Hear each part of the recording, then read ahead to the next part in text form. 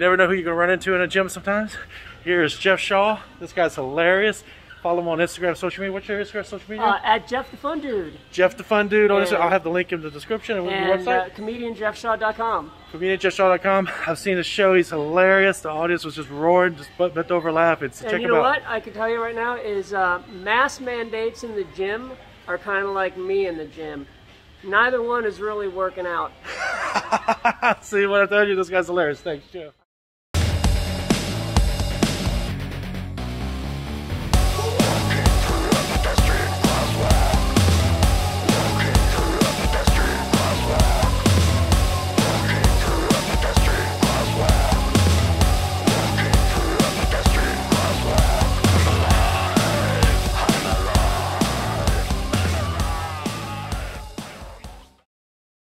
Today's third stop, Bimini, Bahamas, and there it is behind me.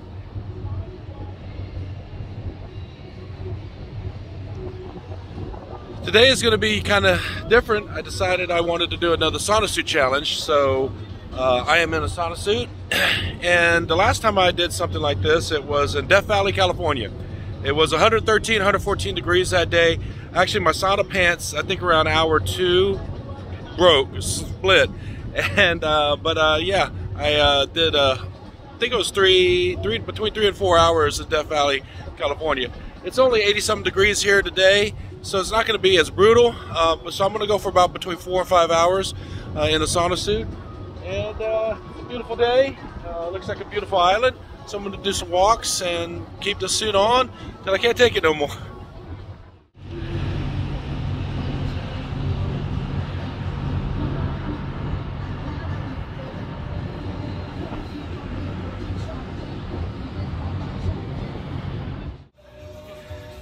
It's already after an hour in the suit and it's quite toasty. Uh, I got the sweat raining, but that's just how it goes. One of the most important things you got to remember. So at the beach at Bimini, it is uh, 82, 83 degrees. Um, it is uh, the thing I didn't think about the difference between here and Death Valley is the humidity. So it's gonna be pretty brutal just because of that alone. I have been raining rivers of sweat uh, for about an hour and a half now into this. And uh, one of the important things you need to do when you're doing anything in the heat, the sun, uh, any strenuous activity, especially in a sauna suit, hydration. You gotta stay hydrated. I think in Death Valley I had, uh, I think it was at least six liters of electrolytes and water.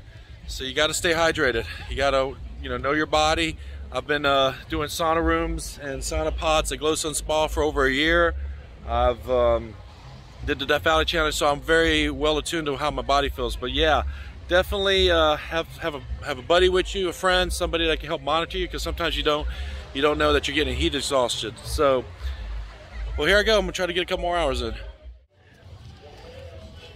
Okay, it is now three hours in the sauna suit. It is 81% uh, humidity today. So even though it's only like 80 something degrees, because of the humidity, it is uh, definitely bringing out the sweat more.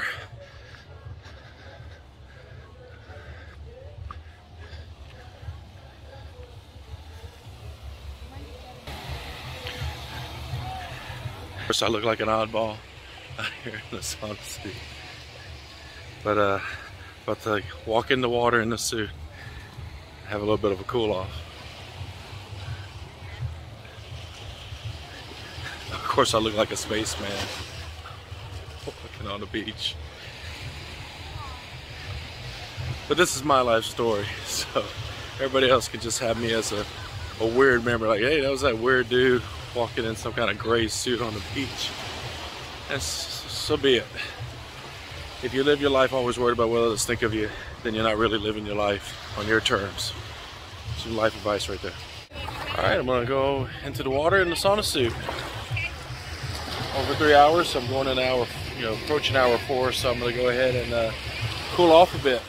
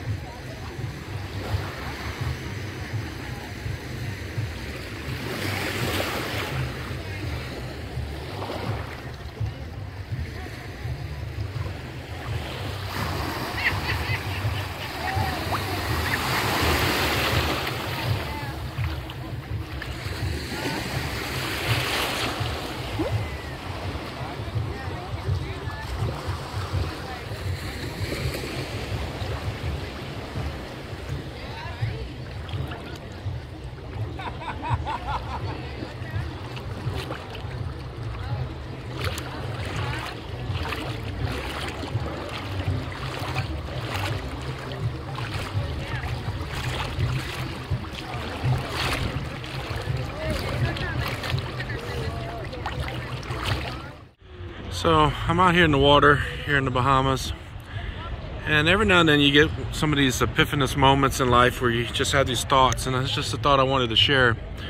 Looking out at, at the sea and just, you know, see some dark clouds in the distance. Or not really dark, dark clouds, but I was just thinking about life of like what's next and a lot of times a lot of folks are different no matter what part of life you're in you're young or old. Sometimes you're at that moment where you're like you don't know which direction you're going in or you don't know quite yet what the future holds.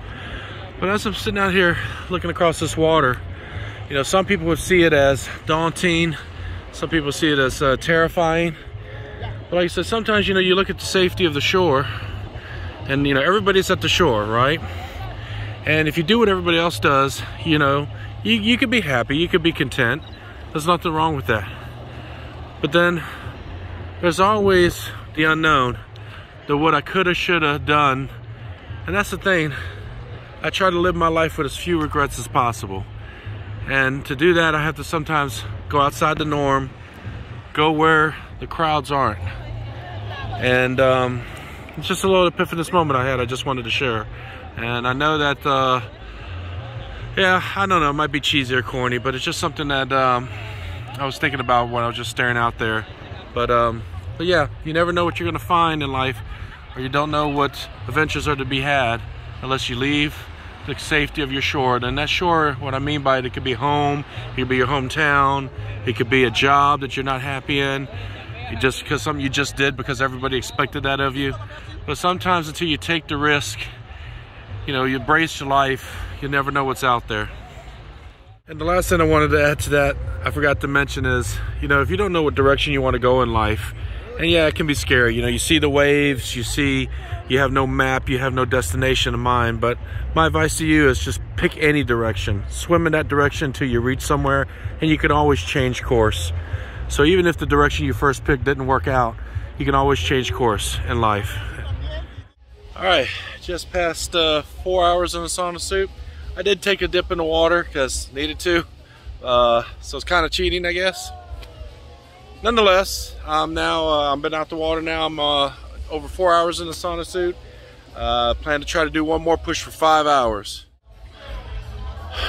Trying to push all the way to five hours. And uh,